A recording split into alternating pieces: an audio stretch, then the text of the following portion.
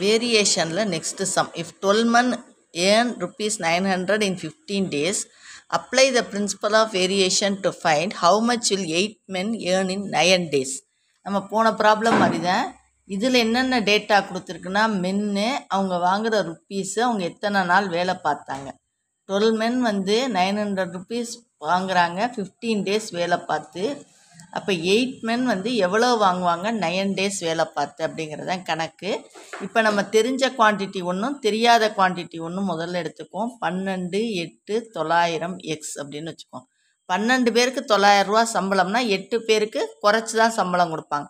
அப்போ இதுவும் குறையும் இதுவும் குறையும் இதுவும் குறையும் இதுவும் குறையும். ரெண்டுமே ஒரே சைன் வந்தால் இது வந்து டைரக்ட் வேரியேஷன் இது வந்து டைரக்ட் வேரியேஷன் அப்போ எக்ஸ் இஸ் ஈக்குவல் டு என்ன போடணும்னா டைரக்ட் வேரியேஷன்னா இதை தலைகீழாக போடணும். இன்வர்ஸ் வேரியேஷன்னா அப்படியே போடணும். டைரக்ட் வேரியேஷன்னா தலைகீழாக போடணும். எட்டு பை பன்னெண்டு. இதை இப்படியே வச்சுக்கிட்டு அடுத்ததுக்கு வருவோம்.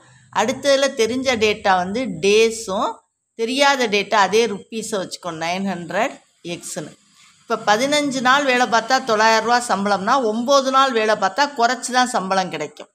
அப்போ இதுவும் மைனஸ் இதுவும் மைனஸ் அப்போ இதுவும் டைரக்ட் வேரியேஷன் அப்போ டைரக்ட் வேரியேஷன்னா இது என்னவா மாறும்? பதி ஒம்பது பை பதினஞ்சுன்னு தலைகீழாக போடணும். பதினஞ்சு பை ஒம்போதுன்னு போடக்கூடாது. ஒம்பது பை பதினஞ்சுன்னு போடணும்.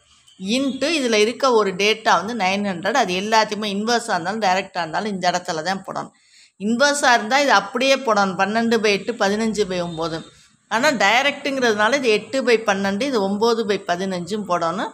இப்போ இதை வந்து நம்ம சால்வ் பண்ணணும். இது எப்படி சால்வ் பண்ணுறதுனா இது பதினஞ்சு அறுபதுன்னு வந்துடும் பன்னெண்டு அஞ்சு அறுபது. அப்போ ஒம்பது எட்டு எழுபத்தி ரெண்டு இன்ட்டு அஞ்சு முந்நூற்றி அறுபது ரூபாய். ரூபாயில் வர்றதுனால யூனிட் என்னவோ அதை போனோம் டேஸ்னால் டேஸ் அது மாதிரி. இப்போ நமக்கு ரூபா தான் தெரியலை அதனால ருப்பீஸ் முந்நூற்றறுபது இந்த மாதிரி பார்த்து போடணும். அதாவது முதல்ல தெரிஞ்ச ஐட்டத்தை எடுத்துக்கணும். இன்னொன்று தெரியாத டேட்டாவை எடுத்துக்கணும். இது ரெண்டையும் கம்பேர் பண்ணி பார்க்கணும். இது குறைஞ்சிச்சின்னா இதுவும் குறையுது. ஏன்னா பன்னெண்டு ஆளுக்கு தொள்ளாயிரரூவா சம்பளம்னா எட்டு ஆளுக்கு இன்னும் கம்மியாகும்.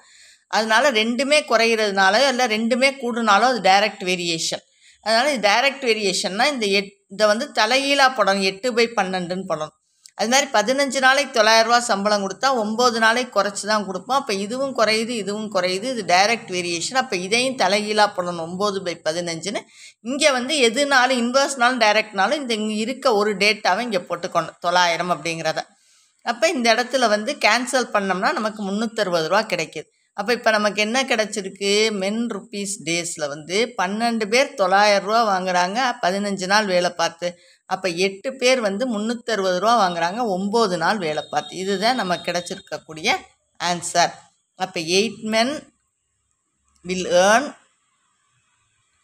rupees three sixty in nine days இந்த த்ரீ சிக்ஸ்டி தான் நமக்குண்ட ஆன்சர்